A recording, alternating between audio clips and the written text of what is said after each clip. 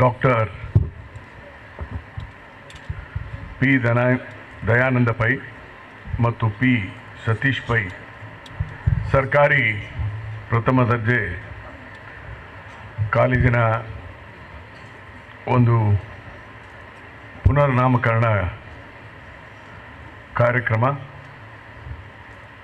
ಮತ್ತು ವಿದ್ಯಾರ್ಥಿ ನಿಲಯದ ಕಟ್ಟಡದ ಶಂಕುಸ್ಥಾಪನೆ ವಿವಿಧ ಅಭಿವೃದ್ಧಿ ಕಾರ್ಯಕ್ರಮಗಳ ಉದ್ಘಾಟನೆಯ ಕಾರ್ಯಕ್ರಮದ ಅಧ್ಯಕ್ಷತೆಯನ್ನು ವಹಿಸಿದಂಥ ನಿಮ್ಮೆಲ್ಲರ ನೆಚ್ಚಿನ ಶಾಸಕರಾದಂಥ ಸನ್ಮಾನ್ಯ ಜೆ ಆರ್ ಲೋಬೋ ಅವರೇ ಮತ್ತು ಈ ಕಾರ್ಯಕ್ರಮದಲ್ಲಿ ಭಾಗವಹಿಸಿರುವಂಥ ವಿಧಾನ ಪರಿಷತ್ತಿನ ವಿರೋಧ ಪಕ್ಷದ ಮುಖ್ಯ ಸಚೇತಕರಾದಂಥ ಕ್ಯಾಪ್ಟನ್ ಕಾರ್ಣಿಕ್ ಅವರೇ, ಮಾಜಿ ಶಾಸಕರಾದಂಥ ಯೋಗೇಶ್ ಭಟ್ ಅವರೇ, ಮಂಗಳೂರು ವಿಶ್ವವಿದ್ಯಾಲಯದ ಕುಲಪತಿಗಳಾದಂಥ ಡಾಕ್ಟರ್ ಭೈರಪ್ಪನವರೇ,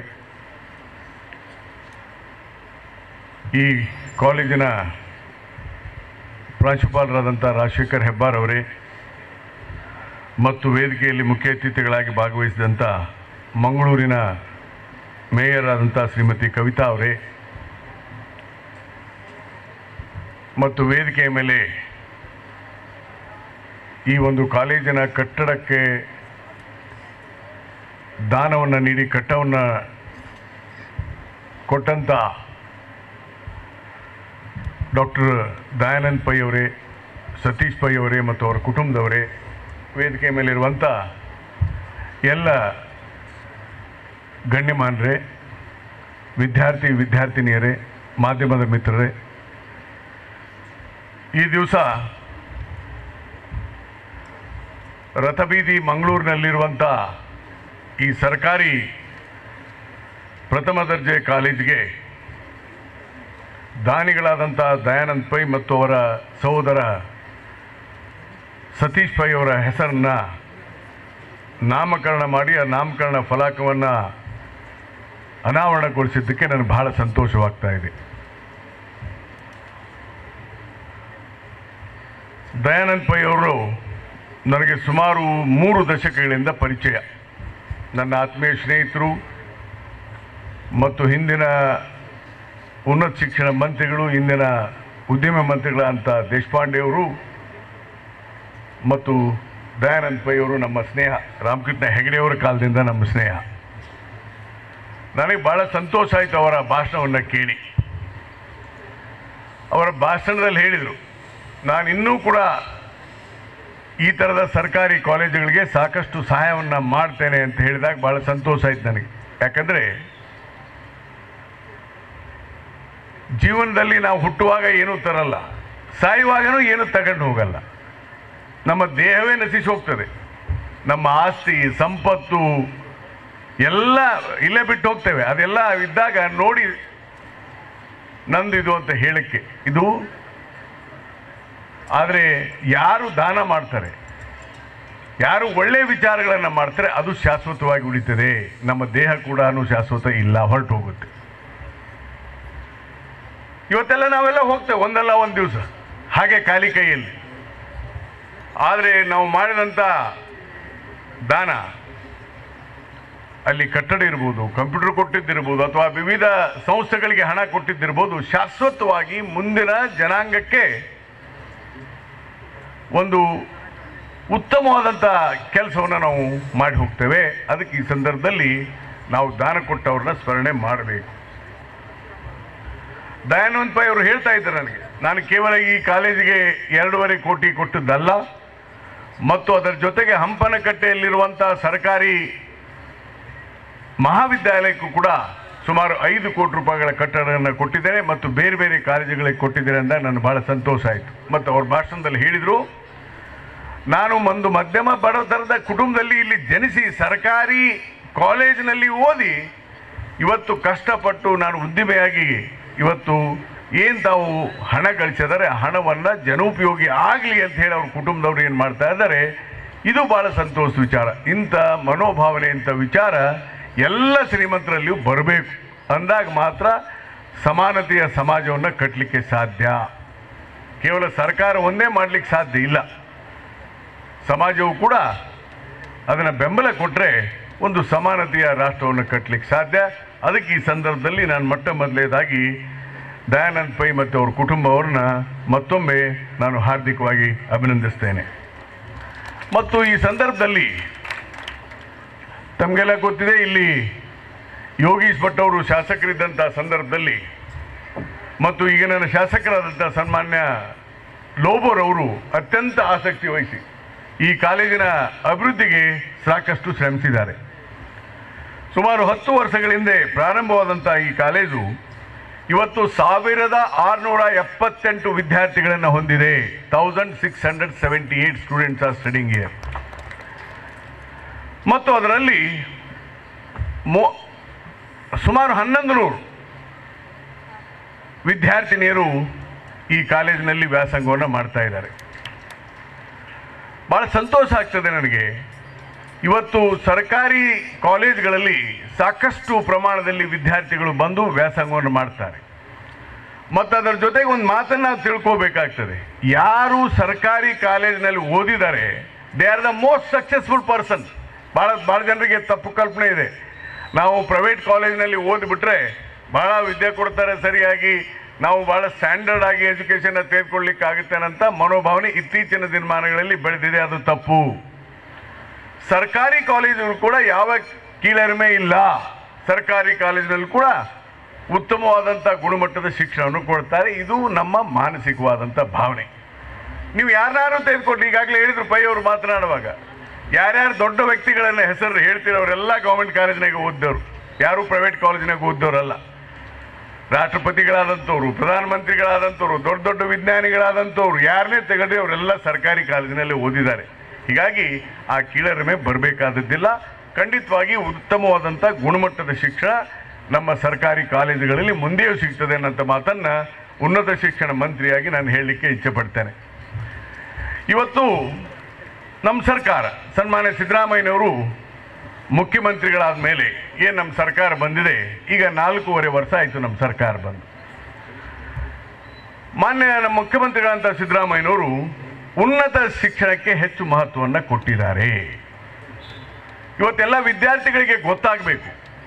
ನಮ್ಮ ದೇಶದಲ್ಲಿ ಸ್ವಾತಂತ್ರ್ಯ ಬಂದಾಗ in nineteen forty seven our literacy percentage was just eleven percent ಕೇವಲ ಹನ್ನೊಂದು ಪರ್ಸೆಂಟ್ ಇತ್ತು ನಮ್ಮ literacy percentage in our country ಇವತ್ತು ಎಪ್ಪತ್ತೈದು ಪರ್ಸೆಂಟ್ ಲಿಟ್ರೇಸಿ ಆಗಿದೆ ನಮ್ಮ ದೇಶದಲ್ಲಿ. ಎಪ್ಪತ್ತೈದು ಪರ್ಸೆಂಟ್ ಆಗಿದೆ. ಕರ್ನಾಟಕ ಸೆವೆಂಟಿ ಸಿಕ್ಸ್ ಪರ್ಸೆಂಟ್ ಅಂದರೆ one percent were above the national average ಅದರಲ್ಲಿ ವಿಶೇಷವಾಗಿ ದಕ್ಷಿಣ ಕನ್ನಡ ಜಿಲ್ಲೆ, ಉಡುಪಿ ಮತ್ತು ಮಂಗಳೂರು ಜಿಲ್ಲೆ ನೈಂಟಿ ಫೋರ್ ಪರ್ಸೆಂಟ್ ಇದೆ ಇವತ್ತು ಲಿಟ್ರೇಸಿಯಲ್ಲಿ ನಾನು ಮಂಗಳೂರಿನ ದಕ್ಷಿಣ ಕನ್ನಡ ಜಿಲ್ಲೆಯ ಜನರನ್ನು ಅಭಿನಂದಿಸ್ತೇನೆ. ವಿದ್ಯೆಗೆ ಹೆಚ್ಚು ಮಹತ್ವವನ್ನು ಕೊಟ್ಟಿದ್ದೀರಿ ತಾವು. ನೈಂಟಿ ಫೋರ್ ಪರ್ಸೆಂಟ್ ಇದೆ ಲಿಟ್ರೇಸಿ ಪರ್ಸೆಂಟ್ ಇವತ್ತು ಬಹುತೇಕ ಇನ್ನೊಂದು ಐದು ವರ್ಷದಲ್ಲಿ you will reach almost hundred percent that means world standard ಲೆವೆಲ್ಗೆ ದಕ್ಷಿಣ ಕನ್ನಡ ಜಿಲ್ಲೆ ಇನ್ನೊಂದು ಶತಮಾನದ ಒಳಗೆ ಹೋಗ್ತದೆ. ಅದಕ್ಕೆ ನಾನು ನಿಮ್ಮನ್ನು ಅಭಿನಂದಿಸ್ತೇನೆ. ಮತ್ತು ಅದರ ಜೊತೆಗೆ ಇವತ್ತೇನು ನಮ್ಮ ದೇಶದಲ್ಲಿ ನಾಟ್ ಓನ್ಲಿ ಲಿಟ್ರೇಸಿ ಪ್ರೈಮರಿ ಸ್ಕೂಲ್ಗೆ ಒಂದು ಆರು ವರ್ಷದ ವಿದ್ಯಾರ್ಥಿಗಳು, ಆರು ವರ್ಷದ ವಿದ್ಯಾರ್ಥಿಗಳಲ್ಲಿ ನೂರಕ್ಕೆ ಸುಮಾರು ತೊಂಬತ್ನಾಲ್ಕು ವಿದ್ಯಾರ್ಥಿಗಳು ದಾಖಲಾಗ್ತಾರೆ ninety four students are admitting the primary school whereas in Karnataka it is ninety eight percent ಕರ್ನಾಟಕದಲ್ಲಿ ತೊಂಬತ್ತೆಂಟು ವಿದ್ಯಾರ್ಥಿಗಳು ದಾಖಲಾಗ್ತಾರೆ. ಮುಂದೆ ಅದು ಮಾಧ್ಯಮಿಕ ಶಿಕ್ಷಣಕ್ಕೆ ಬಂದಂಥ ಸಂದರ್ಭದಲ್ಲಿ ದಾಖಲಾತಿಯ ಪ್ರಮಾಣ ಐವತ್ತೆಂಟು ಪರ್ಸೆಂಟಿಗೆ ಕುಸಿತದೆ. ತೊಂಬತ್ತೆಂಟರಿಂದ ಐವತ್ತೆಂಟು ಆಗ್ತದೆ. ಮತ್ತು ಅದು ಉನ್ನತ ಶಿಕ್ಷಣ, ಅಂದರೆ ಡಿಗ್ರಿ ಕಾಲೇಜಿಗೆ ಬಂದಾಗ ನಮ್ಮ ದೇಶದಲ್ಲಿ ಇಪ್ಪತ್ನಾಲ್ಕು ಪರ್ಸೆಂಟ್ ಇಳಿತದೆ. ಅಂದರೆ ಒಂದು ನೂರು ವಿದ್ಯಾರ್ಥಿಗಳು ಹದಿನೆಂಟು ವರ್ಷ ಕಳೆದ ಮೇಲೆ ಕಾಲೇಜಿಗೆ ದಾಖಲಾತಿಯ ಪ್ರಮಾಣ ನಮ್ಮ ದೇಶದಲ್ಲಿ ಇಪ್ಪತ್ನಾಲ್ಕು ಪರ್ಸೆಂಟ್ ಮಾತ್ರ. ಅಂದರೆ ಇಪ್ಪತ್ನಾಲ್ಕು ವಿದ್ಯಾರ್ಥಿಗಳು ಮಾತ್ರ ಪದವೀಧರರಾಗ್ತಾರೆ. ಆದರೆ ಕರ್ನಾಟಕದಲ್ಲಿ ಇವತ್ತು G R of the higher education is twenty eight percent ಕಳೆದ ಒಂದೂವರೆ ವರ್ಷದಲ್ಲಿ ಎರಡು ಪರ್ಸೆಂಟ್ ಜಾಸ್ತಿ ಆಯಿತು. Earlier it was twenty six percent ನಾವು it is twenty eight percent ಇದಕ್ಕೆ ಕಾರಣ ನಮ್ಮ ರಾಜ್ಯ ಸರ್ಕಾರ ಉನ್ನತ ಶಿಕ್ಷಣಕ್ಕೆ ಹೆಚ್ಚು ಮಹತ್ವವನ್ನು ನಮ್ಮ ಮುಖ್ಯಮಂತ್ರಿಗಳು ಕೊಡ್ತಾ ಇದ್ದಾರೆ. ಮುಂದಿನ ಐದು ವರ್ಷದಲ್ಲಿ ನಮ್ಮ ದಾಖಲಾತಿಯ ಪ್ರಮಾಣವನ್ನು ಇಪ್ಪತ್ತೆಂಟು ಪರ್ಸೆಂಟಿಂದ ನಲವತ್ತು ಪರ್ಸೆಂಟ್ಗೆ ಏರಿಸಬೇಕು ಅನ್ನೋದು ನಮ್ಮ ಸರ್ಕಾರದ ಗುರಿಯಾಗಿದೆ. Forty percent. Where the old standard ಇವತ್ತು ಉದಾಹರಣೆಗೆ South Korea there is ninety six percent is the G R in the higher education eighty one percent is U S China is forty five percent G R of the higher education. ಅದನ್ನ ಈಗ ಕೊನೆ ಮಟ್ಟಕ್ಕೆ ನಮ್ಮ ಸ, ನಮ್ಮ ರಾಷ್ಟ್ರ, ನಮ್ಮ ರಾಜ್ಯದಲ್ಲಿ ನಾವು ನಲವತ್ತು ಪರ್ಸೆಂಟಿಗೆ ತೆಗೆದುಕೊಂಡು ಹೋಗಬೇಕು ಮುಂದಿನ ಐದು ವರ್ಷದಲ್ಲಿ ಅಂತ ತೀರ್ಮಾನ ಮಾಡಿದ್ದೇವೆ. ಯಾಕೆ ವಿದ್ಯಾರ್ಥಿಗಳು ಹೆಚ್ಚು ಪದವೀಧರರಾಗ್ತಾ ಇಲ್ಲ ಅದಕ್ಕೆ ಕಾರಣ, ಒಂದನೇದು ಆರ್ಥಿಕ ಸಮಸ್ಯೆಗಳು. ಹದಿನೆಂಟು ವರ್ಷ ಆದ ತಕ್ಷಣ ವಿದ್ಯಾರ್ಥಿಗಳನ್ನು ತಂದೆ ತಾಯಿಗಳು ದುಡಿಯಕ್ಕೆ ಕಳಿಸಿಬಿಡ್ತಾರೆ. ಬಡತನ, ಹಸಿವು ಮತ್ತು ಅದರ ಜೊತೆಗೆ ಬೇರೆ ಬೇರೆ ಕಾರಣಕ್ಕಾಗಿ ವಿದ್ಯಾರ್ಥಿಗಳು ಹೆಚ್ಚು ಸಂಖ್ಯೆಯಲ್ಲಿ ದಾಖಲಾಗಲ್ಲ. ಇದಕ್ಕೆ ಮುಖ್ಯ ಕಾರಣ ಆರ್ಥಿಕ ಸಮಸ್ಯೆ.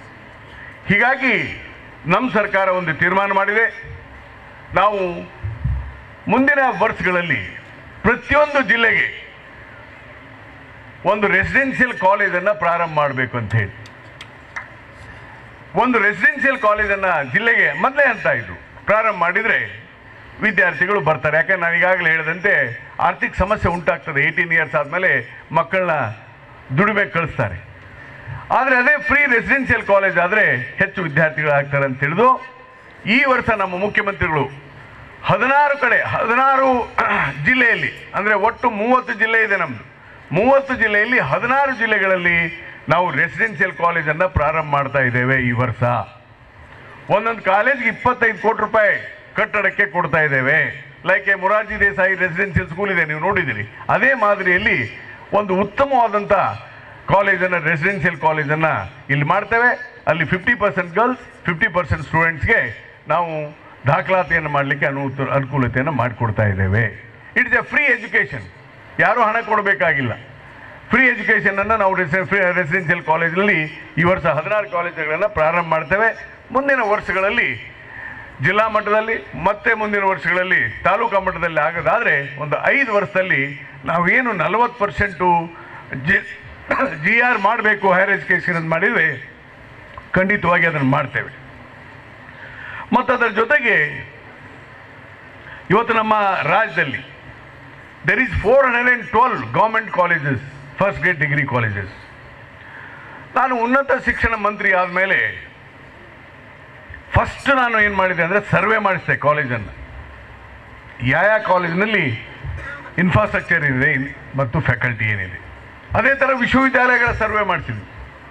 ಇವತ್ತು ಏನಾಗಿದೆ? ನಾಲ್ಕುನೂರ ಹನ್ನೆರಡು ಕಾಲೇಜಿನಲ್ಲಿ ಎಷ್ಟು ಸ್ಕೂಲ್ ಕ್ಲಾಸ್ ರೂಮ್ಸ್ ಇಲ್ಲ. ಕ್ಲಾಸ್ ರೂಮ್ಸ್ನಲ್ಲಿ ಏನೇನು ಫೆಸಿಲಿಟಿ ಇಲ್ಲ. ಫ್ಯಾಕಲ್ಟಿ ಇಲ್ಲ.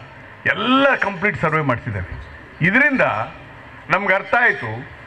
ಸುಮಾರು ಒಂದು ನೂರ ಹನ್ನೆರಡು ಕಾಲೇಜ್ಗೆ ನಾವು ಇನ್ನೂ ಕಟ್ಟಡವನ್ನು ಕಟ್ಟಬೇಕು ಹೊಸದಾಗಿ ಭಾಳಷ್ಟು ಕಡೆ ಜಾಗ ಇಲ್ಲ. ಮತ್ತು ಕೆಲವಕ್ಕೆ ಇನ್ಫ್ರಾಸ್ಟ್ರಕ್ಚರ್ ಕೊಡಬೇಕು, ಹೆಚ್ಚಿನ ಕೊಠಡಿಗಳನ್ನು ಕಟ್ಟಬೇಕು ಇದಕ್ಕೆಲ್ಲ ಸಮಸ್ಯೆ ಇತ್ತು, ಇದಕ್ಕೆಲ್ಲ ಮಾಡಿ ಒಂದು ಮಾಸ್ಟರ್ ಪ್ಲ್ಯಾನ್ ಮಾಡಿದ್ದೇವೆ. ಸುಮಾರು ಮೂರು ಸಾವಿರ ಕೋಟಿ ಬೇಕಾಗ್ತದೆ. ಈ ಫೆಸಿಲಿಟಿ ಕೊಡಲಿಕ್ಕೆ. ಕಾಲೇಜ್ ಕಟ್ಟಡ ಲೈಬ್ರರಿ ಮತ್ತು ಇನ್ನಿತರ ಮೂಲಭೂತ ಸೌಕರ್ಯಗಳನ್ನು ನಾನ್ನೂರ ಹನ್ನೆರಡು ಕಾಲೇಜ್ಗೆ ಕೊಡಬೇಕಾದ್ರೆ ಒಂದು ತ್ರೀ ಥೌಸಂಡ್ ಕೋರ್ಸ್ ಬೇಕಾಗ್ಬೋದು ಅಂತ ನಾವು ಅಂದಾಜನ್ನು ಮಾಡಿದ್ದೇವೆ. ಮತ್ತು ಅದರ ಜೊತೆಗೆ ನಮ್ಮ ರಾಜ್ಯದಲ್ಲಿ ಒಂದು ಇಪ್ಪತ್ತು ವಿಶ್ವವಿದ್ಯಾಲಯಗಳು. B A B Com B S C ಮತ್ತು ಇವೇನಿದೆ? ಇಂಜಿನಿಯರಿಂಗು ಮತ್ತು ಮೆಡಿಕಲ್ಲು ಹಾರ್ಟಿಕಲ್ಚರ್ ಹಿಡಿದ್ರೆ ಇಪ್ಪತ್ತೈದು ಆಗುತ್ತೆ. ಈ ಸರ್ಕಾರಿ ವಿಶ್ವವಿದ್ಯಾಲಯಗಳಲ್ಲಿ ಮುಂದಿನ ವರ್ಷಗಳಲ್ಲಿ ಮೂಲಭೂತ ಸೌಕರ್ಯ ಮತ್ತು ಫ್ಯಾಕಲ್ಟಿ ರಿಕ್ರೂಟ್ಮೆಂಟ್ ಫ್ಯಾಕಲ್ಟಿ ಸಪೋರ್ಟ್ ಕೊಡಬೇಕಲ್ಲ. ಇದನ್ನು ಮಾಡಲಿಕ್ಕೇನು ಕೂಡ ನಾವೆಲ್ಲ ಸುಮಾರು ಒಂದು ಎರಡು ಸಾವಿರ ಕೋಟಿ ಬೇಕಾಗ್ಬೋದು. ಒಟ್ಟು ಐದು ಸಾವಿರ ರೂಪಾಯಿ ಕೋಟಿಗೆ ನಾವು ಒಂದು ವಿಶೇಷ ಯೋಜನೆಯನ್ನು ಮಾಡಬೇಕಂತ ಹೇಳಿವಿ ಮಾಡಿದಾಗ ಮಾ ಮುಖ್ಯಮಂತ್ರಿಗಳು ಅದನ್ನು ಬಜೆಟ್ ಸ್ಪೀಚಲ್ಲಿ ಹೇಳಿದರು. ಮುಂದಿನ ವರ್ಷಗಳಲ್ಲಿ ಈಗ ಅದನ್ನು ಮಾಡೋಣ ಅಂತ ಹೇಳಿ ಈ ವರ್ಷ ನಾವು ಸರ್ವೆ ಮಾಡಿದ್ದೇವೆ. ಅದನ್ನು ಯಾವ ಥರ ಮಾಡಬೇಕು? ಏನು whether we have to take the World Bank assistance or some assistance ಅದನ್ನೆಲ್ಲ ಈ ವರ್ಷ ಮಾಡಿ ಬಹುತೇಕ ನಮ್ಮ ಮುಖ್ಯಮಂತ್ರಿಗಳು ಅದಕ್ಕೆ ಒಂದು ಯೋಜನೆಯನ್ನು ಚಾಲನೆಗೆ ಕೊಡ್ತಾ ಇದ್ದಾರೆ. ಮುಂದಿನ ವರ್ಷಗಳಲ್ಲಿ ಬಹುತೇಕ ಈ ಫೆಸಿಲಿಟಿಯನ್ನು ಕೊಟ್ಟಾಗ ಎಲ್ಲ ವಿದ್ಯಾರ್ಥಿಗಳಿಗೆ ಮೂಲಭೂತ ಸೌಕರ್ಯನ ಕೊಡಲಿಕ್ಕೆ ಸಾಧ್ಯ ಆಗ್ತದೆ. ಮತ್ತು ಅದರ ಜೊತೆಗೆ ನಮ್ಮ ಗೌರ್ಮೆಂಟ್ ಕಾಲೇಜಲ್ಲಿ ಸುಮಾರು ಮೂರು ಸಾವಿರ three thousand post assistant professor post ಖಾಲಿ ಇತ್ತು. ಆ ಮೂರು ಸಾವಿರ ಪೋಸ್ಟ್ನಲ್ಲಿ ಈ ವರ್ಷ ಮೊನ್ನೆ ಒಂದು ತಿಂಗಳಾಯ್ತು. ಗಣೇಶ್ ಅವ್ರಿಗೆ ಗೊತ್ತಿದೆ.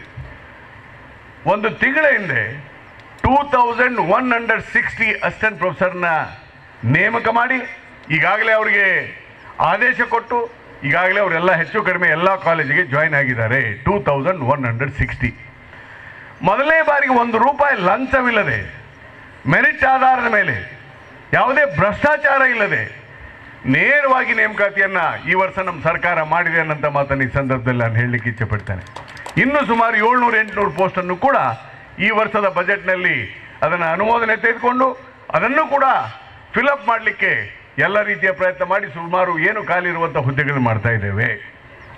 ಮತ್ತು ಅದಕ್ಕಿಂತ ಮುಖ್ಯವಾಗಿ ಏಡೆಡ್ ಕಾಲೇಜ್ ಇದೆ.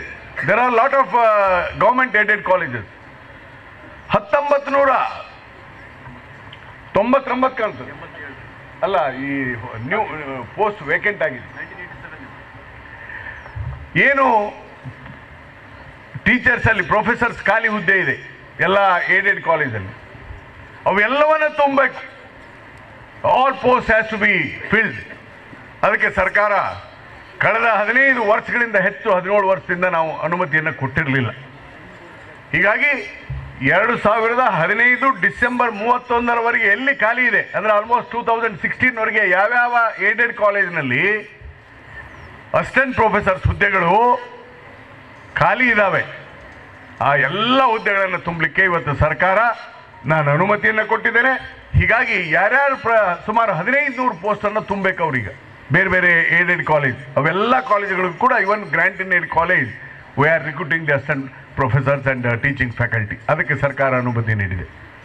ಹೀಗಾಗಿ ಮುಂದಿನ ದಿನಮಾನಗಳಲ್ಲಿ ಹೆಚ್ಚು ಒಂದು ಭೌತಿಕವಾಗಿ ವಿದ್ಯಾರ್ಥಿಗಳಿಗೆ ಅನುಕೂಲತೆ ಆಗ್ತದೆ ಮತ್ತು ಅದರ ಜೊತೆಗೆ ಯೂನಿವರ್ಸಿಟಿಯಲ್ಲೂ ಕೂಡ ನಾವು ಬೇರೆ ಬೇರೆ ಯೂನಿವರ್ಸಿಟಿಗಳಲ್ಲಿ ಎಲ್ಲ ಅಸಿಸ್ಟೆಂಟ್ ಪ್ರೊಫೆಸರ್ಸು ಪ್ರೊಫೆಸರ್ಸು ಎಲ್ಲ ರಿಕ್ರೂಟ್ ಮಾಡಲಿಕ್ಕೆ ಇವತ್ತು ಅನುವು ಮಾಡಿಕೊಟ್ಟಿದ್ದೇವೆ. ಇದಲ್ಲದೆ ವಿದ್ಯಾರ್ಥಿಗಳು ಭಾಳ ದಿನಗಳ ಕಾಲದಿಂದ ವಿದ್ಯಾರ್ಥಿಗಳಿಗೆ ಹೊಸ ತಂತ್ರಜ್ಞಾನ ಬಂದಿದೆ ಈಗ. ಈ ಹೊಸ ತಂತ್ರಜ್ಞಾನದಲ್ಲಿ ವಿದ್ಯಾರ್ಥಿಗಳು ಕೇವಲ ತಮ್ಮ ಬುಕ್ಕು ಅಥವಾ ತಮ್ಮ ಸಬ್ಜೆಕ್ಟ್ನಲ್ಲಿ ಮಾತ್ರ ಪರಿಣಿತರಾದರೆ ಸಾಧ್ಯವಿಲ್ಲ. Globe is running somewhere. ಜಾಗತಿಕ ಮಟ್ಟದ ಸ್ಪರ್ಧೆಯಲ್ಲಿ ವಿದ್ಯಾರ್ಥಿಗಳು ಹೋಗಬೇಕಾಗಿದ್ದರೆ ಇವತ್ತು ನಮ್ಮ ವಿದ್ಯಾರ್ಥಿಗಳಿಗೆ ನಾವು ಹೆಚ್ಚಿನ ವಿಚಾರಗಳನ್ನು ತಿಳಿಸ್ಬೇಕು. ಅದಕ್ಕೆ ಲ್ಯಾಪ್ಟಾಪ್ ಕೊಡಬೇಕು ಎಲ್ಲ ವಿದ್ಯಾರ್ಥಿಗಳಿಗೆ ಅಂತ ಹೇಳಿ ನಮ್ಮ ಸರ್ಕಾರ ತೀರ್ಮಾನ ಮಾಡಿದೆ. ಹೀಗಾಗಿ ಮೊದಲನೇ ಹಂತದಲ್ಲಿ ನಾವು ನಮ್ಮ ರಾಜ್ಯದಲ್ಲಿರುವಂಥ ನಾನ್ನೂರ ಹನ್ನೆರಡು ಸರ್ಕಾರಿ ಪ್ರಥಮ ದರ್ಜೆ ಕಾಲೇಜು ಮತ್ತು ಎಂಬತ್ತೊಂದು ಸರ್ಕಾರಿ ಪಾಲಿಟೆಕ್ನಿಕ್ ಈ ಕಾಲೇಜುಗಳಲ್ಲಿ ಓದುತ್ತಿರುವಂಥ ಎಸ್ ಸಿ ಮತ್ತು ಎಸ್ ಟಿ ಸ್ಟೂಡೆಂಟ್ಸ್ ಮೂವತ್ತಾರು ಸಾವಿರ ಇದ್ದಾರೆ. ತರ್ಟಿ ಸಿಕ್ಸ್ ಥೌಸಂಡ್ ಸ್ಟೂಡೆಂಟ್ಸ್ ಇವರೆಲ್ಲರಿಗೂ ಲ್ಯಾಪ್ಟಾಪ್ ಕೊಡಬೇಕಂತ ತೀರ್ಮಾನ ಮಾಡಿದ್ವಿ. ಈಗ ಲ್ಯಾಪ್ಟಾಪನ್ನು ನವೆಂಬರ್ ಹದಿನೆಂಟರಂದು ದಾವಣಗೆರೆಯಲ್ಲಿ ಮುಖ್ಯಮಂತ್ರಿಗಳು ಮೂವತ್ತಾರು ಸಾವಿರ ಎಸ್ ಸಿ ಎಸ್ ಟಿ ವಿದ್ಯಾರ್ಥಿಗಳಿಗೆ ಫ್ರೀ ಲ್ಯಾಪ್ಟಾಪ್ ಬ್ರ್ಯಾಂಡೆಡ್ ಏಸರ್ ಕಂಪ್ನಿಗೆ ಟೆಂಡರ್ ಆಗಿದೆ. ಏಸರ್ ಕಂಪ್ನಿನವರು ಮುಖಾಂತರ ನಾವೇನು ಸರ್ಕಾರದ ಹಣ ಕೊಟ್ಟಿದೆ ಫ್ರೀ ಲ್ಯಾಪ್ಟಾಪನ್ನು ಎಸ್ ಸಿ ಎಸ್ ಸಿ ಸ್ಟೂಡೆಂಟಿಗೆ ನವೆಂಬರ್ ಹದಿನೆಂಟಕ್ಕೆ ಕೊಡ್ತೇವೆ. ಇದೆ ನವೆಂಬರ್ ಹದಿನೆಂಟು. ಆದರೆ ಕೇವಲ ಎಸ್ ಸಿ ಎಸ್ ಟಿ ಸ್ಟೂಡೆಂಟಿಗೆ ಕೊಟ್ಟರೆ ಮಾತ್ರ ಅಲ್ಲ ನಾವು ಎಲ್ಲ ವರ್ಗದ ವಿದ್ಯಾರ್ಥಿಗಳಿಗೆ ಕೊಡಬೇಕಂತ ಸರ್ಕಾರ ತೀರ್ಮಾನ ಮಾಡಿದೆ, ಎಲ್ಲ ವರ್ಗದ ವಿದ್ಯಾರ್ಥಿಗಳಿಗೆ. ಹೀಗಾಗಿ ಹೀಗಾಗಿ ಒಂದು ಲಕ್ಷ ಐವತ್ತು ಸಾವಿರ ಇತರ ವಿದ್ಯಾರ್ಥಿಗಳು who I was studying in B A first year B Com first year B S C first year M B B S C first year engineering first year ಎಲ್ಲ ವಿದ್ಯಾರ್ಥಿಗಳಿಗೆ ಈಗಾಗಲೇ ಟೆಂಡರ್ ಕರೆದಿದ್ದೇವೆ. ಜನವರಿ ಒಳಗಾಗಿ ಒಂದು ಲಕ್ಷ ಐವತ್ತು ಸಾವಿರ ಎಲ್ಲ ಜಾತಿ ಧರ್ಮದ ವಿದ್ಯಾರ್ಥಿಗಳಿಗೆ ನಾವು ಫ್ರೀ ಲ್ಯಾಪ್ಟಾಪ್ ಅನ್ನು ಕೊಡ್ತಾ ಇದ್ದೇವೆ ಮತ್ತು ಬ್ರ್ಯಾಂಡೆಡ್ ಕೊಡ್ತಾ ಇದ್ದೇವೆ. ಮತ್ತೆ ಯಾವುದು ಅದರಲ್ಲಿ? ಗಣೇಶ್ ಅವರೇ ಅಪರ ತಪರ ಇಲ್ಲ, ಯಾವುದೂ ಇಲ್ಲ. Will give branded world global tender ಕರೆದು ಈಗಾಗಲೇ ಮುಗಿದಿದೆ. ಇವತ್ತು ಜನವರಿ ಒಳಗಾಗಿ ನಿಮ್ಮೆಲ್ಲರಿಗೂ ಬಹುತೇಕ ಹೆಬ್ಬಾರ್. ಇಲ್ಲಿರುವಂಥ ಎಲ್ಲ ವಿದ್ಯಾರ್ಥಿಗಳಿಗೆ thousand six hundred seventy eight ಸ್ಟೂಡೆಂಟ್ಸ್ಗೆ ಫ್ರೀ ಲ್ಯಾಪ್ಟಾಪನ್ನು ಕೊಡ್ತಾ ಇದ್ದೇವೆ. ರೈಟ್ ಹೀಗಾಗಿ ಯಾರು ಸರ್ಕಾರಿ ಕಾಲೇಜು ಎಲ್ಲ ಓದ್ತಿರ್ ಕೊಡ್ತೇವೆ. ಮತ್ತು ಇದಲ್ಲದೆ ನನಗೆ ಒಂದು ಸಂತೋಷ ವಿಚಾರವನ್ನು ಇನ್ನೊಂದು ಹೇಳಲಿಕ್ಕೆ ಶೇರ್ ಮಾಡಲಿಕ್ಕೆ ಪ್ರಯತ್ನ ಮಾಡ್ತೇನೆ. ಇವತ್ತು ನಮ್ಮಲ್ಲಿ ಮಹಿಳೆಯರು ಹೆಚ್ಚು ವಿದ್ಯಾವಂತರು ಆಗಬೇಕು ಇತ್ತೀಚಿನ ದಿನಮಾನಗಳಲ್ಲಿ ನಮ್ಮ ವಿದ್ಯಾರ್ಥಿನಿಯರು ಹೆಚ್ಚು ರ್ಯಾಂಕ್ ನೋಡ್ರಿ ತೆಗೆದು ನೋಡ್ರಿ. ರ್ಯಾಂಕ್ ಲಿಸ್ಟು ಹತ್ತರಲ್ಲಿ ಒಂಬತ್ತು ವಿದ್ಯಾರ್ಥಿನಿ ನಮ್ಮ ಹುಡುಗಿಯರೇ ಇರ್ತಾರೆ. ಹುಡುಗ ಒಬ್ಬನಿರ್ತಾನೆ ನಾನೀಗ ದಯಾನಂದ್ ದಯಾನಂದ್ ಪೈ ಅವರು ಇದನ್ನು ಕೊಟ್ಟರು ಒಂದು ಸ್ಕಾಲರ್ಶಿಪ್ಪು ದಯಾನಂದ್ ಪೈ ಅವರಲ್ಲ ಸ್ಕಾಲರ್ಶಿಪ್ ಪ್ರೋತ್ಸಾಹನ ಹುಡುಗರಿಗೆಲ್ಲ ತೌಸಂಡ್ ರುಪೀಸ್ ಅದು? ಹಾಂ ಎರಡು ಸಾವಿರ ಮತ್ತು ಸಾವಿರ ರೂಪಾಯಿ ಕೊಟ್ಟು ನಾನು ನೋಡಿದೆ ಮೇಲೆ ಒಬ್ಬನೇ ಹುಡುಗ ಎಲ್ಲ ನಮ್ಮ ವಿದ್ಯಾರ್ಥಿನಿಯರು ಹುಡುಗಿಯರೇ. ಅಂದರೆ ದಟ್ ಮೀನ್ಸ್ ನಮ್ಮ ಎಲ್ಲ ವಿದ್ಯಾರ್ಥಿನಿಯರು ಸಾಕಷ್ಟು ಓದ್ತಾ ಇದ್ದಾರೆ. ಹುಡುಗರು ಯಾರು ಓದ್ತಾ ಇಲ್ಲ. ಅದು ತೋರಿಸ್ತದೆ. ಹಿಂಗಾಗಬಾರ್ದು ಇನ್ನು. ಹುಡುಗರು ಸ್ವಲ್ಪ ಕಾಂಪಿಟೇಷನ್ ಬರ್ರಿ ಇನ್ನು. Let's boys also come up ಹಾಂ ಲ್ಯಾಪ್ಟಾಪ್ ಕೊಡ್ತಾ ಇದ್ದೀವಿ. ಇಲ್ಲಿ ಲ್ಯಾಪ್ಟಾಪ್ ಕೊಡ, ನಿಲ್ಸಿಬಿಡ್ಲ ಅವ್ರಿಗೆ? ಅಂದರೆ ಇನ್ಯಾರು ಬರ್ತಾರೆ, ಹುಡುಗರು ಬರ್ತಾರೆ ಇನ್ಮೇಲೆ. ಇದಾಗಲಿ ಮತ್ತು ಇನ್ನೊಂದು ಸಂತೋಷದ ಸಂಗತಿ ಏನಂದರೆ ವಿ ಆರ್ ಥಿಂಕಿಂಗ್ ಅವರು ನಮ್ಮ ಮುಖ್ಯಮಂತ್ರಿ ಸಿದ್ದರಾಮಯ್ಯವರು ಯೋಚನೆ ಮಾಡ್ತಾ ಇದ್ದಾರೆ. ಎಲ್ಲ ವಿದ್ಯಾರ್ಥಿನಿಯರಿಗೆ ನಮ್ಮ ಕರ್ನಾಟಕದಲ್ಲಿ, ನಿಮ್ಗೆ ಗೊತ್ತು? ಅಕ್ಕಮಹಾದೇವಿ ಹೆಸರಿನ ವಿಶ್ವವಿದ್ಯಾಲಯವನ್ನು ನಾವು ಮಹಿಳಾ ವಿಶ್ವವಿದ್ಯಾಲಯನ ಬಿಜಾಪುರದಲ್ಲಿ ಮಾಡಿದ್ದೇವೆ. ಆ ಸಂದರ್ಭದಲ್ಲಿ ಮುಖ್ಯಮಂತ್ರಿಗಳಿಗೆ ಒಂದು ವಿಚಾರ ಬಂತು. ನನಗೂ ವಿಚಾರ ಬಂತು, ನಾನು ಹೇಳಿದೆ. ನಮ್ಮ ರಾಜ್ಯದಲ್ಲಿ ಓದುತ್ತಿರುವಂಥ ಎಲ್ಲ ವಿದ್ಯಾರ್ಥಿನಿಯರಿಗೆ ಗೌರ್ಮೆಂಟ್ ಕಾಲೇಜು ಮತ್ತು ಏಡೆಡ್ ಕಾಲೇಜಿನಲ್ಲಿ ಯಾರು ವಿದ್ಯಾರ್ಥಿನಿಯರು ಓದ್ತಾರೆ, ಅವ್ರಿಗೆಲ್ಲ ಟ್ಯೂ ಫೀಸನ್ನು ರದ್ದು ಮಾಡಬೇಕು, ಝೀರೋ. ಯಾರು ಕೊಡಬಾರದು ವಿದ್ಯಾರ್ಥಿನಿಯರು ಅಂತ ಒಂದು ಚಿಂತನೆಯನ್ನು ಸರ್ಕಾರ ಮಾಡ್ತಾ ಇದೆ. ಅದಕ್ಕಾಗಿ ಒಂದು ಕಮಿಟಿ ಮಾಡಿದ್ದೆ ಶಿಕ್ಷಣ ತಜ್ಞರು. ಅವರು ಒಂದು ವರದಿಯನ್ನು ಸರ್ಕಾರಕ್ಕೆ ಕೊಟ್ಟಿದ್ದಾರೆ. ಈಗಾಗಲೇ ಮುಖ್ಯಮಂತ್ರಿಗಳ ಹತ್ರ ಚರ್ಚೆ ಮಾಡಿದ್ದೇನೆ. ಬಹುತೇಕ ನಮ್ಮ ಮುಖ್ಯಮಂತ್ರಿಗಳು ಅದನ್ನು ಈ ಸಾರಿ ಬಜೆಟಲ್ಲಿ ಮುಂಬರುವಂಥ ಬಜೆಟ್, ಇನ್ನೂ ಒಂದು ನಾವು ಬಜೆಟ್ ಕೊಡ್ತೇವೆ. ಯಾಕಂದರೆ ಮಾರ್ಚಿನ ಒಳಗೆ ನಾವೊಂದು ಬಜೆಟ್ ಕೊಡಬೇಕಾಗ್ತದೆ. ಅದಕ್ಕೆ ಆ ಬಜೆಟ್ನಲ್ಲಿ ಕರ್ನಾಟಕ ರಾಜ್ಯದಲ್ಲಿ ಓದುತ್ತಿರುವಂಥ ಒಂದನೇ ವರ್ಗದಿಂದ ಎಂ ಎ ಓದುವಂಥ ಎಲ್ಲ ವಿದ್ಯಾರ್ಥಿನಿಯರಿಗೆ ಯಾವುದೇ ಕಾಲೇಜಿನ ಶುಲ್ಕವಿಲ್ಲದೆ ಫ್ರೀ ಎಜುಕೇಷನ್ನ ಕೊಡಬೇಕನ್ನೋದು ಕೂಡ ತೀರ್ಮಾನವನ್ನು ಮಾಡ್ತಾ ಇದ್ದೇವೆ. ಅಂದರೆ ಎಲ್ಲ ವಿದ್ಯಾರ್ಥಿನಿಯರಿಗೆ ಉಚಿತವಾದಂಥ ಅಪ್ ಟು ಮಾಸ್ಟರ್ ಗ್ರ್ಯಾಜುಯೇಟ್ ಆಗೋವರೆಗೂ ವಿದ್ಯಾರ್ಥಿನಿಯರು ಓದಲಿ ಅಂತೇಳಿ. ಯಾಕೆ ಈ ಮಾತು ಹೇಳ್ತೀನಿ ಅಂದರೆ ಭಾಳಷ್ಟು ಕುಟುಂಬಗಳಲ್ಲಿ ಮಹಿಳೆಯರನ್ನ ಓದಿಸೋದಿಲ್ಲ ಇನ್ನೂ ಕೂಡ. ಬಡಪ್ಪ ಅವ್ರು ಬೇರೆ ಮನೆಗೆ ಮದುವೆ ಲಗ್ನ ಆಗಿ ಹೋಗಿಬಿಡ್ತಾರ. ನಮಗೆ ಯಾಕೆ ಅವರ ವೆಚ್ಚ ಇದೆಯಲ್ಲ ಅಂಥೇಳಿ ಎಷ್ಟೋ ಬಡ ಮತ್ತು ಮಧ್ಯಮ ವರ್ಗದ ವಿದ್ಯಾರ್ಥಿನಿಯರನ್ನ ಯಾರು ಪೋಷಕರು ಓದಿಸೋದಿಲ್ಲ. ಆಮೇಲೆ ಹದಿನೆಂಟು ವರ್ಷ ಆದಮೇಲೆ ಹತ್ತೊಂಬತ್ತು ವರ್ಷ ಮದುವೆ ಮಾಡಿಬಿಡ್ತಾರೆ. ಹೀಗಾಗಿ ಭಾಳಷ್ಟು ರೂರಲ್ ಏರಿಯಾ ಮತ್ತು ಮಧ್ಯಮ ವರ್ಗ ಬಡವರ್ಗದ ವಿದ್ಯಾರ್ಥಿ ತೊಂದರೆ ಆಗ್ತಾ ಇದೆಯಲ್ಲ? ಇದು ಹೀಗಾಗಬಾರ್ದು, ಅವರಿಗೆ ಉಚಿತವಾದಂಥ ಶಿಕ್ಷಣ ಕೊಡಬೇಕಂತ ಹೇಳಿ ಸರ್ಕಾರ ತೀರ್ಮಾನ ಮಾಡ್ತಾ ಇದೆ ಮತ್ತು ರೆಸಿಡೆನ್ಷಿಯಲ್ ಕಾಲೇಜ್ ಮಾಡ್ತಾ ಇದ್ದೇವೆ. ಮತ್ತು ಅದರ ಜೊತೆಗೆ ಇವತ್ತೊಂದು ಸ್ಕಿಲ್ ಯೂನಿವರ್ಸಿಟಿ ಮಾಡಬೇಕು ರಾಜ್ಯದಲ್ಲಿ. ಯಾಕೆ ಸ್ಕಿಲ್ ಯೂನಿವರ್ಸಿಟಿ ಆಗಬೇಕಾಗಿತ್ತು ಅಂದರೆ ನಿನ್ನೆ ನಮ್ಮ ವೈಸ್ ಚಾನ್ಸಲರ್ ಭೈರಪ್ಪ ಅವರು ನಾವು ಡಿಸ್ಕಷನ್ ಮಾಡ್ತಾ ಇದ್ವಿ.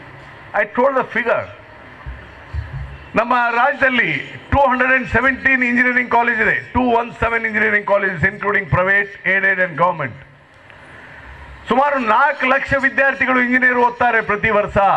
Four lakh students in Karnataka ಅದರಲ್ಲಿ ವಿದ್ಯಾರ್ಥಿಗಳು ಪಾಸ್ ಆಗಿ ಬರೋರು ಎಂಬತ್ತರಿಂದ ಎಂಬತ್ತೈದು ಸಾವಿರ ವಿದ್ಯಾರ್ಥಿಗಳು ಪಾಸ್ ಆಗಿ ಹೊರಗೆ ಬರ್ತಾರೆ. ಆಫ್ಟರ್ ಬಿ ಅಂದರೆ every year eighty two eighty five thousand who get the degree of the engineering ಆದರೆ ಅವರಿಗೆ ನೌಕರಿ ಸಿಗೋದು ಎಷ್ಟು ಜನಕ್ಕೆ employability hardly four to five percent ಅಂದರೆ ಎಂಬತ್ತೈದು ಸಾವಿರ ಇಂಜಿನಿಯರಿಂಗ್ ಪಾಸ್ ಆಗಿ ಬಂದರೆ ಮೂರಿಂದ ನಾಲ್ಕು ಸಾವಿರ ವಿದ್ಯಾರ್ಥಿಗಳು ಮಾತ್ರ ನೌಕರಿಯನ್ನು ಮಾಡಲಿಕ್ಕೆ ಸಾಧ್ಯ. ಹೀಗಾಗಿ ಇನ್ನು ಉಳಿದಂಥ ನೈಂಟಿ ಫೈವ್ ಪರ್ಸೆಂಟ್ ವಿದ್ಯಾರ್ಥಿಗಳು ನಿರುದ್ಯೋಗಿ ಆಗ್ತಾರೆ ಇಂಜಿನಿಯರಿಂಗ್ ಕಲ್ತದ್ದು. ಅದಕ್ಕಾಗಿಯೇ ಇವತ್ತೊಂದು ಸ್ಕಿಲ್ ಡೆವಲಪ್ಮೆಂಟ್ ಸ್ಕಿಲ್ ಯೂನಿವರ್ಸಿಟಿಯನ್ನು ಮಾಡಬೇಕಂತ ಹೇಳಿ ನಮ್ಮ ಸರ್ಕಾರ ತೀರ್ಮಾನ ಮಾಡಿದೆ. ಈಗಾಗಲೇ ಬಜೆಟ್ ಭಾಷಣದಲ್ಲಿ ಮಾನ್ಯ ಮುಖ್ಯಮಂತ್ರಿಗಳಂತ ಸಿದ್ದರಾಮಯ್ಯನವರು ಹೇಳಿದ್ದಾರೆ. ಅದನ್ನು ನಾವು ಪ್ರೈವೇಟ್ ಪಾರ್ಟ್ನರ್ಶಿಪ್ನಲ್ಲಿ ಮಾಡಬೇಕಂತ ಹೇಳಿ ಟಾಟಾ ಗ್ರೂಪ್, ಟಾಟಾ ಗ್ರೂಪ್ನವರು ಮುಂದೆ ಬಂದಿದ್ದಾರೆ. ಮುಂದಿನ ದಿನಮಾನಗಳಲ್ಲಿ ಸ್ಕಿಲ್ ಯೂನಿವರ್ಸಿಟಿಯನ್ನು ಕೂಡ ಇವತ್ತು ಕರ್ನಾಟಕದಲ್ಲಿ ಪ್ರಾರಂಭ ಮಾಡ್ತೇವೆ. ಮತ್ತು ಈಗಾಗಲೇ ಸ್ಕಿಲ್ ಡೆವಲಪ್ಮೆಂಟ್ ಸೆಂಟರ್ನ ವಿ ಟಿ ಯು ವಿಶ್ವ ವಿಶ್ವೇಶ್ವರಯ್ಯ ವಿಶ್ವವಿದ್ಯಾಲಯದಿಂದ ನಾವು ಪ್ರಾರಂಭ ಮಾಡ್ತಾ ಇದ್ದೇವೆ. ಈಗಾಗಲೇ ದಾಂಡೇಲಿಯಲ್ಲಿ ಮಾಡಿದ್ದೇವೆ. ನಮ್ಮ ಕೊಪ್ಪಳದಲ್ಲಿ ಒಂದು ಮಾಡ್ತಾ ಇದ್ದೇವೆ, ಮೈಸೂರಿನಲ್ಲಿ ಒಂದು ಮಾಡ್ತೇವೆ skill development centre by the V T U itself. ಸುಮಾರು ಅರವತ್ತು ಅರವತ್ತು ಕೋಟಿ ಕೊಟ್ಟಿದ್ದೇವೆ ಅದಕ್ಕೆ. ಹೀಗಾಗಿ ಮುಂದಿನ ದಿನಮಾನಗಳಲ್ಲಿ ನಮ್ಮ ಯುವಕರಿಗೆ ಸ್ಕಿಲ್ ಡೆವಲಪ್ಮೆಂಟ್ ಸೆಂಟರ್ ಯಾಕೆ ಬೇಕಂದರೆ ಲೋಬೋರೆ ತಮ್ಗೆ ಗೊತ್ತಿದೆ. ಇಲ್ಲಿ ನಿಮ್ಮ ಹೆಂಚು ಹೊಂದಿಸಿದ್ದಾರೆ. ಇದು ಹೆಂಚು ಅಂತಾರೆ ಏನಂತೀರ ನೀವು? ಇದು ಹೆಂಚು. ಹೆಂಚು ಹೊಂದಿಸಿದ್ದಾರೆ. ಈಗಿನ ಕಾರ್ಮಿಕರಿಗೆ ಹೇಳಿ ಒಂದು ಹೊಂದ್ಸ್ಲಿಕ್ಕೆ ಬರೋದೇ ಇಲ್ಲ. ಆಮೇಲೆ ಚೇರ್ ಮಾಡ್ತಾರೆ. ಈಗಿನ ಕಾರ್ಪೆಂಟ್ರಿಗೆ ಚೇರ್ ಮಾಡ್ಲಿಕ್ಕೂ ಬರಲ್ಲ ಟೇಬಲ್ ಮಾಡ್ಲಿಕ್ಕೂ ಎಲ್ಲ ಮಷಿನ್ಗಳು ಇಟ್ಟಿಗೆ ಗೋಡೆ ಕಟ್ಟಲಿಕ್ಕಾಗಲ್ಲ ಪ್ಲಂಬರ್ಸ್ ಇಲ್ಲ. ಸ್ಕಿಲ್ ಇಲ್ಲ there is no skill at all ಎಲ್ಲ ಮರ್ತು ಬಿಟ್ಟಿದ್ದಾರೆ.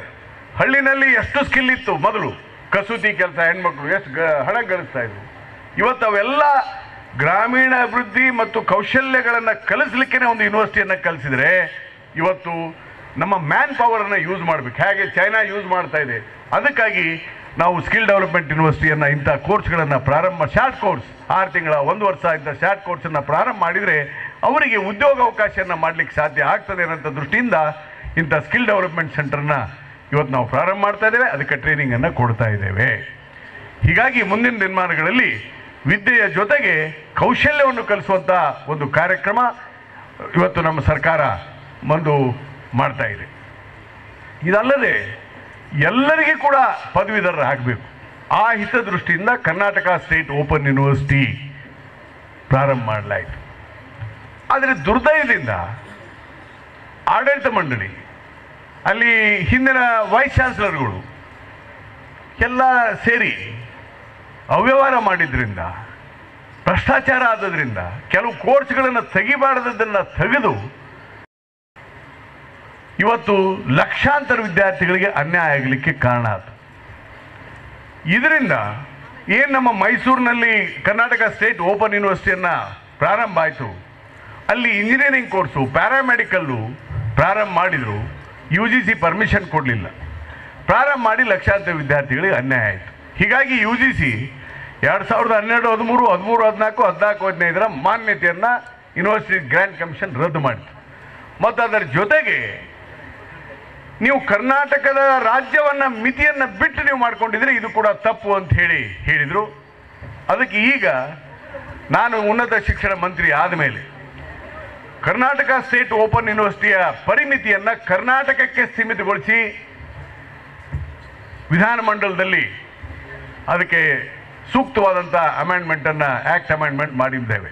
ಯು ಜಿ ಸಿ ಕೇಳಿದಂಥ ಎಲ್ಲ ಏನೇನು ಹೇಳಿದ್ರು ಅದನ್ನೆಲ್ಲ ಮಾಡಿಕೊಟ್ಟಿದ್ದೇವೆ. ನಾನು ಒಂದು ಮೂರು ಸಾರಿ ಜಾವಡೇಕರ್ ಮಂತ್ರಿಗಳನ್ನು ಭೇಟಿಯಾದೆ ನಮ್ಮ ವೈಸ್ ಚಾನ್ಸಲರ್ ಶಿವಲಿಂಗಯ್ಯ ಹದಿನಾರು ಸಾರಿ ಯು ಜಿ ಸಿಗೆ ಹೋಗಿದ್ದಾರೆ ಸಿಕ್ಸ್ಟೀನ್ ಟೈಮ್ಸ್ ನಮ್ಮ ಮುಖ್ಯಮಂತ್ರಿ ಸಿದ್ದರಾಮಯ್ಯವರು ಪ್ರಧಾನಮಂತ್ರಿ ಮೋದಿ ಅವರಿಗೆ ಪತ್ರ ಬರೆದರು. ಆದರೆ ಯು ಜಿ ಸಿ ಅವರು ನಮಗೆ ಮಾನ್ಯತೆಯನ್ನು ಕೊಡ್ತಾ ಇಲ್ಲ. ಅದಕ್ಕೆ ಮೊನ್ನೆ ಆ ವೈಸ್ ಚಾನ್ಸಲರ್ ಶಿವಲಿಂಗಯ್ಯನವರು ಹೇಳಿದರು ಯು ಜಿ ಸಿ ಕರ್ನಾಟಕದ ಬಗ್ಗೆ ಮಲತಾಯಿ ದೋಣಿಯನ್ನು ಮಾಡ್ತದೆ ಇದು ನಾನು ಹೇಳಿಲ್ಲ ವೈಸ್ ಚಾನ್ಸಲರ್ ಹೇಳಿದರು. ಬೇಗ ಆಗಬೇಕು. ಇದನ್ನು ತಂದುಬಿಟ್ಟು ನನ್ನ ಮೇಲೆ ಇಲ್ಲ ಎಜುಕೇಷನ್ ಮಿನಿಸ್ಟ್ರು ಪ್ರಯತ್ನ ಮಾಡ್ತಾ ಇಲ್ಲ, ಏನೂ ಮಾಡ್ತಾ ಇಲ್ಲ ಅಂತ ಹೇಳಿ ಯಾವುದೋ ಒಂದು ಗುಂಪು ಕಟ್ಕೊಂಡು ವಿದ್ಯಾರ್ಥಿಗಳು ಬಂದರೆ ನಾನೇನು ಮಾಡಲಪ್ಪ ಅದಕ್ಕೆ? ಯು ಜಿ ಸಿ ರೆಕಗ್ನೈಸೇಷನ್ ಕೊಡದಿದ್ರೆ ಲಕ್ಷಾಂತರ ಮಕ್ಕಳಿಗೆ ಅನ್ಯಾಯ ಆಗ್ತಾ ಇದೆ ಕರ್ನಾಟಕಕ್ಕೆ. ಅದನ್ನು ಮಾಡಿಸ್ರಿ ಅಂತೇಳಿ ಕಾರಣಕ್ಕೆ ಅವ್ರು ನಿಮಗೂ ಹೇಳಿದೆ. ಅದು ಸ್ವಲ್ಪ ಸೀರಿಯಸ್ ಆಗಿ ತಗೊಳ್ರಿ. ಜಾವಡೇಕರ್ ಅವ್ರಿಗೆ ಹೇಳಬೇಕಾಗ್ತದೆ ಯಾಕೆ ಇದನ್ನು ಕ್ಲಾರಿಫಿಕೇಶನ್ ಇಲ್ಲಿ ಕೊಡಬೇಕಾದಂಥ ಪ್ರಸಂಗ ಬಂತಂದರೆ ಸುಮ್ಮನೆ ರಾಜಕೀಯ ಕಾರಣಕ್ಕೋ ಯಾವುದೋ ಇದು ಕಾರಣಕ್ಕೆ ನಾವು ಮಾಡ್ತಾ ಇಲ್ಲ ಅಂದ್ರೆ ಹೇಗಪ್ಪ? ನಾವು ಎಲ್ಲ ರೀತಿ ಪ್ರಮೆಂಟ್ ನಾನೇನು ಮುಚ್ಚುರಿ ಅಂತ ಹೇಳಿದ್ದು ನಾನು ಯು ಜಿ ಸಿನ ಇದರ ಕೇಸು ಇಲ್ಲ. ಮುಚ್ಚುವಂಥ ಪರಿಸ್ಥಿತಿಗೆ ಬಂದಿದೆ ಅಂತ ಹೇಳಿದೆ ನಾನು. ನಮಗೆ ವ್ಯಾಕರಣ ಕಡಿಮೆ ಇದೆ ಕಾಣುತ್ತೆ ಭಾಳ ಜನಕ್ಕೆ.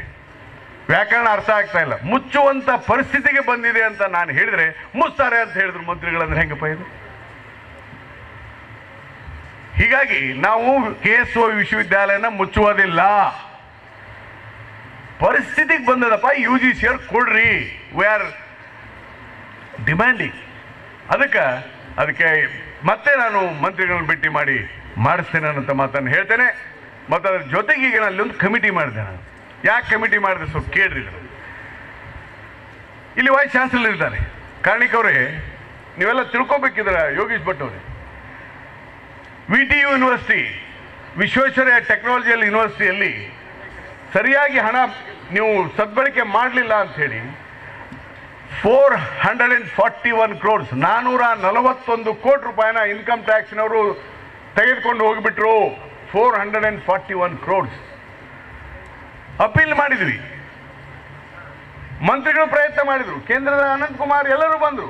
ಪಾಪ ಜಾವಡೆ I must thankful to Javadekar. Javadekar ಸ್ವತಃ ಮಂತ್ರಿಗಳ ಹತ್ರ ಬಂದರು. ಯಾರು, ಜೇಟ್ಲಿ ಅವ್ರ ಹತ್ರ. ಆದರೆ ಜೇಟ್ಲಿ ಅವರು ಮನಸ್ಸು ಮಾಡಲಿಲ್ಲ. ನಮ್ಮ ಹಣ, ಸರ್, ನಮ್ಮ ವಿದ್ಯಾರ್ಥಿಗಳ ಹಣ four hundred and forty one crores ಇವತ್ತು ಕೇಂದ್ರ ಸರ್ಕಾರ ಇನ್ಕಮ್ ಟ್ಯಾಕ್ಸ್ನವರು ಸೀಸ್ ಮಾಡಿಬಿಟ್ಟಿದ್ದಾರೆ. ಯೂನಿವರ್ಸಿಟಿಗೆ ಹಣ ಇಲ್ಲ. ಇವತ್ತು ರಾಜ್ಯ ಸರ್ಕಾರ ಏನು ಮಾಡಬೇಕು? ಆ ಪರಿಸ್ಥಿತಿ ಕೇಸು ಇವು ಬರಬಾರ್ದು. ಕಾರಣಿಕವ್ರೆ ಆ ಪರಿಸ್ಥಿತಿ ಕೇಸು, ಈಗ ಕೇಸುನಲ್ಲಿ ಆರುನೂರ ಐವತ್ತು ಕೋಟಿ ಹಣ ಇತ್ತು ಮೊದಲು six hundred fifty crores when I become a minister ಇವತ್ತು ಅದಕ್ಕೆ ಕರಗಿಬಿಟ್ಟಿದೆ ಫೈವ್ ಏಯ್ಟಿ ಆಗಿದೆ. ಇದಕ್ಕೆ ಕಾರಣ ಏನಂದರೆ, ಅಲ್ಲಿ ಒಂಬೈನೂರು ಜನ ಪ್ರೊಫೆಸರ್ಸು ಮತ್ತು ಬೇರೆ ಬೇರೆ ವಿವಿಧ ಸಿಬ್ಬಂದಿಗಳು ನೈನ್ ಹಂಡ್ರೆಡ್ ಜನ ಕೆಲಸ ಮಾಡ್ತಾರೆ. ಕೆಲಸ ಏನು? ಒನ್ ಮಿನಿಟ್ ಕೆಲಸ ಇಲ್ಲ ಅಲ್ಲಿಗೆ. ಯಾಕಂದ್ರೆ ಯೂನಿವರ್ಸಿಟಿನ ಬೈ ಬೀಗ ಹಾಕಿದ ಕೆಲಸ ಎಂತಂದಿದೆ ಅವ್ರಿಗೆ ಸುಮ್ಮನೆ ಪಗಾರ ಕೊಡ್ತಾ ಇದ್ದಾರೆ. ಎಷ್ಟು ಕೊಡ್ತಾ ಇದ್ದಾರೆ ಪ್ರತಿ ವರ್ಷ ಐವತ್ತು ಕೋಟಿ, ನೂರ ಐವತ್ತು ಕೋಟಿ ಹೋತಿ ಮೂರು ವರ್ಷ ಆ ಡಿಪಾಸಿಟ್ ಹೋದ್ ನಮ್ದು. ಅದನ್ನ ಬಳಸ್ಕೊಳ್ದಿದ್ರೆ ನಾಳೆ ಇನ್ಕಮ್ ಟ್ಯಾಕ್ಸ್ನಲ್ಲಿ ಆ ಹಣನು ಸೀಸ್ ಮಾಡ್ತಾರೆ. ಅದಕ್ಕೆ ಆ ಹಣನ ಟ್ರೇಜರಿಯಲ್ಲಿ ಇಡ್ರಪ್ಪ ಅಂತ ಹೇಳಿದೆ ನಾನು. ಎಲ್ಲಿ? ಸರ್ಕಾರದ ಟ್ರೇಜರಿಯಲ್ಲಿ ಅದಕ್ಕೆ ಕೆಲವು ಎಂ ಎಲ್ ಸಿಗಳು ಹೇಳ್ತಾರೆ ರಾಜರೆಡ್ಡಿ ಅವರು ಲೂಡಿ ಹೊಡ್ಕೊಂಡು ಹೋಗ್ತಾ ಇದ್ದಾರೆ. ಏನು ನನ್ನ ಮನೆಗೆ ತೊಗೊಂಡು ಹೋಗ್ತೀನಿ, ಹಣನ? ಬ್ಯಾಂಕ್ನಾಗ ಇಟ್ಟರೆ ಅಲ್ಲಿ ವಿ ಟಿ ಯುನಲ್ಲಿ ನಾನೂರ ನಲವತ್ತೊಂದು ಕೋಟಿ ಹೋಯ್ತು. ಇದನ್ನು ಹೋಗಿಬಿಟ್ರೆ ಹೇಗಪ್ಪ? ಈ ಹಣನು, ಸರ್ಕಾರದ್ದು. ಅದು ಯಾರ ಹಣ ನಮ್ಮ ವಿದ್ಯಾರ್ಥಿಗಳ ಹಣ. ಇದನ್ನ ಹೇಳಿದ್ರೆ ಅದಕ್ಕೊಂದು ವಿರೋಧನೆ. ಇದಕ್ಕೆ ಕಾರಣ ನಮ್ಮಲ್ಲಿ ಜಾತಿ ವ್ಯವಸ್ಥೆ. ಯಾರ್ಯಾರೋ ಜಾತಿ ಆ ಜಾತಿಯವರು ವೈಸ್ ಚಾನ್ಸಲರ್ ಆಗಿದೆ ಅಂದ್ಕೂಡಲೇ ಕೆಲವರು ಹೋಗೋದು. ಇಂಥ ಶಿಕ್ಷಣದಲ್ಲಿ ಜಾತಿ ವ್ಯವಸ್ಥೆ ಪಟ್ಟಭದ್ರ ಹಿತಾಸಕ್ತಿಗಳು ಬಂದಿದ್ದರಿಂದ ಇವತ್ತು ವಿಶ್ವವಿದ್ಯಾಲಯಗಳು ಹಾಳಾಗ್ತಾ ಇದೆ. ಇವತ್ತು ನೋಡಿ ಬೆಂಗಳೂರು ಯೂನಿವರ್ಸಿಟಿ ವೈಸ್ ಚಾನ್ಸಲರ್ ಇಲ್ಲ, ಮೈಸೂರು ಯೂನಿವರ್ಸಿಟಿ ವೈಸ್ ಚಾನ್ಸಲರ್ ಇಲ್ಲ. ನಾವೇನು ಬೇಡ ಅಂತ ಹೇಳಿವಾ ಕಾರ್ಣಿಕ್ ಸರ್ಚ್ ಕಮಿಟಿ ಮಾಡಿದ್ದೇವೆ. We are sent the honourable governor appoint ಆಗ್ತಾ ಇದೆ. ಇದಕ್ಕೆ ನನ್ನನ್ನು ದೂಷಣೆ ಮಾಡಿದ್ರೆ ಹಾಗೆ? ಅದಕ್ಕೆ ನಾನು ಸ್ಪಷ್ಟಪಡಿಸ್ತೇನೆ, ನಮ್ಮ ಹತ್ರ ಯಾವುದೇ ಅಜೆಂಡಾ ಇಲ್ಲ. We don't have any hidden agenda at all ಶಿಕ್ಷಣ ಗುಣಮಟ್ಟದ್ದಾಗಬೇಕು. ಶಿಕ್ಷಣದಲ್ಲಿ ಯಾವುದೇ ಜಾತಿ, ಇವು ಮತ, ಪಂಥ, ಭ್ರಷ್ಟಾಚಾರ ಆಗಬಾರ್ದು ಅನ್ನೋದೇ ನಮ್ಮ ಉದ್ದೇಶ. ಅದಕ್ಕೆ ಸ್ವಲ್ಪ ಇದು ಪಕ್ಷಾತೀತವಾಗಿ ನಾವೆಲ್ಲರೂ ಚರ್ಚೆ ಮಾಡಬೇಕು. ಯಾಕೆ ಕರ್ನಾಟಕದಲ್ಲಿ ಹಿಂಗಾಗುತ್ತೆ ಅಂತ. ಯಾರು ಇರ್ಬೋದು ಯಾವುದಾವ್ದೋ ರಾಜಕೀಯ ಪಕ್ಷ ಜನಗಳನ್ನ ವಾಚ್ ಬರ್ಬೋದು. ಇದು ಆಗಬಾರ್ದು. ಇಲ್ಲಿ ರಾಜಕಾರಣ ಬರಬಾರ್ದು. ಇವತ್ತು ಶಿಕ್ಷಣ ಗುಣಮಟ್ಟ ಸಿಗಬೇಕಾಗಿದ್ದರೆ ಎಲ್ಲ ರೀತಿಯ ಇದು ಆಗಬೇಕು. ಅದರ ಬಗ್ಗೆ ನಾನು ಮತ್ತೆ ಪ್ರಯತ್ನವನ್ನು, ಎಲ್ಲ ರೀತಿಯ ಪ್ರಯತ್ನವನ್ನು ಮಾಡ್ತೇವೆ. ಆ ಹಿನ್ನೆಲೆಯಲ್ಲಿ ಇವತ್ತೇನು ನಾನು ಯಾಕೆ ಕೆ ಎಸ್ ಇವರ ಸ್ಪಷ್ಟೀಕರಣ ಕೊಟ್ಟೆ ಅಂದರೆ, ನಮ್ಮ ಉದ್ದೇಶ ಯಾವುದೂ ಇಲ್ಲ. ಎಲ್ಲರಿಗೂ ವಿದ್ಯೆ ಸಿಗಬೇಕು. ಎಲ್ಲರೂ ಗ್ರ್ಯಾಜುಯೇಟ್ ಆಗಬೇಕು. ಅದಕ್ಕಾಗಲೇ ಕೆ ಎಸ್ ಇರೋದು. ಅದನ್ನು ಉನ್ನತೀಕರಣಗೊಳಿಸಲಿಕ್ಕೆ ಒಂದು ಕಮಿಟಿ ಮಾಡಿದ್ದೇನೆ. ಅಂದರೆ ಏನು ಮಾಡ್ಬೋದು ನಾವು ಅಂಥೇಳಿ ಅದು ಹೊರತು ಅದನ್ನು ಮುಚ್ಚಲಿಕ್ಕೆ ಅಲ್ಲ, ಆ ಹಣವನ್ನು ಎಲ್ಲಾರ ತಗೊಂಡೋಗಿ ಕೊಡ್ಲಿಕ್ಕೆ ಬರ್ತದೇನ್ರಿ? ಆ ಯೂನಿವರ್ಸಿಟಿದು ಹೋಗಿ ಟ್ರೇಜರಾಗಿ ಇಡಬೇಕಾಗತ್ತೆ. ಇವೆಲ್ಲವನ್ನು ನಾವು ಸದುದ್ದೇಶದಿಂದ ಮಾಡ್ತೇವೆ. ಅದಕ್ಕೆ ಯಾವುದೇ ಸಂಶಯ ಬೇಡ. ನಮ್ಮ ಉದ್ದೇಶ, ನಮ್ಮ ಸರ್ಕಾರದ ಉದ್ದೇಶ ಮುಂದಿನ ದಿನಮಾನಗಳಲ್ಲಿ ಒಂದು ಉನ್ನತವಾದಂಥ ಏನು ಈ ಶಿಕ್ಷಣ ಇಲಾಖೆ ಇದೆ ಗುಣಮಟ್ಟದ ಶಿಕ್ಷಣವನ್ನು ಕೊಡಬೇಕು ಎಲ್ಲರಿಗೆ ಅನ್ನೋದೇ ನಮ್ಮ ಉದ್ದೇಶ ಆಗಿದೆ. ಹೀಗಾಗಿ ಇವತ್ತಿನ ದಿವಸ ಏನು ಈ ಕಾಲೇಜಿಗೆ ನಮ್ಮ ದಯಾನಂದ್ ಪೈ ಮತ್ತು ಅವ್ರ ಕುಟುಂಬದವರು ದಾನವನ್ನು ಕೊಟ್ಟು ಕಾಲೇಜಿನ ಕಟ್ಟಡ ಕಟ್ಟಿಕೊಟ್ಟಿದ್ದಾರೆ. ಇಂಥ ದಾನಿಗಳು ಇನ್ನೂ ಸಾಕಷ್ಟು ಪ್ರಮಾಣದಲ್ಲಿ ಬಂದು ಗ್ರಾಮಾಂತರ ಪ್ರದೇಶದಲ್ಲೂ ಕೂಡ ಇನ್ನೂ ಒಳ್ಳೆಯ ಕಟ್ಟಡಗಳು, ಒಳ್ಳೆಯ ಫೆಸಿಲಿಟಿ ಬರಲಿ. ಸರ್ಕಾರ ಮತ್ತು ಸಮಾಜ ಎಲ್ಲ ಸೇರಿ ಮಾಡಿದರೆ ಮುಂದಿನ ದಿನಮಾನಗಳಲ್ಲಿ ನಮ್ಮ ಸಮಾಜಕ್ಕೆ ಒಳ್ಳೆಯದಾಗ್ತದೆ ಅನ್ನೋಂಥ ಮಾತನ್ನು ಈ ಸಂದರ್ಭದಲ್ಲಿ ಹೇಳಿ ಇವತ್ತಿನ ಈ ಕಾರ್ಯಕ್ರಮಕ್ಕೆ ಕರೆಸಿ ನಾನು ಉದ್ಘಾಟನೆ ಮಾಡಿಸಿ ಮಾತಾಡಲಿಕ್ಕೆ ಅವಕಾಶ ನಮ್ಮೆಲ್ಲರಿಗೂ ಒಂದಿಸಿ ನನ್ನ ಮಾತು ಮುಗಿಸ್ತೇನೆ ನಮಸ್ಕಾರ ಜಯ ಹಿಂದ್.